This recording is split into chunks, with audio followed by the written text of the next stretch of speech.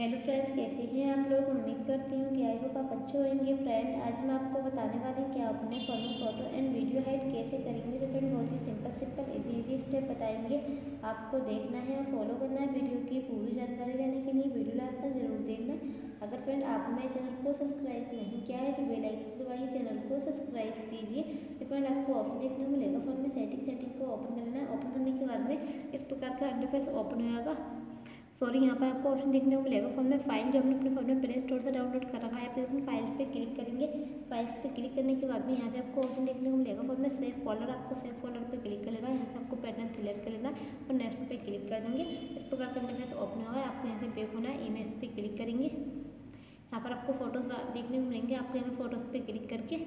फिर यहाँ से आपको थ्री डॉट पे क्लिक करके मॉप टू सेव फोल्डर पे क्लिक कर लेना और आप इस प्रकार अपने फ़ोन में फ़ोटो एंड वीडियो हाइड करेंगे। यहाँ पर आपको पैटर्न लगाया था। वो आपको एंटर कर लेना है यहाँ से आपको जो फ़ोटोज़ थे वो हाइड हो चुके हैं तो इस पर अपने फ़ोन में फ़ोटो एंड वीडियो हाइड करेंगे। आई होप अगर आपको मैं वीडियो अच्छी लगी हो गाइस तो वीडियो को शेयर करें लाइक करें चैनल पर लाइक हो तो चैनल को सब्सक्राइब करें। मिलती हैं अगली नेक्स्ट वीडियो में। तब तक के लिए बाय एंड टेक केयर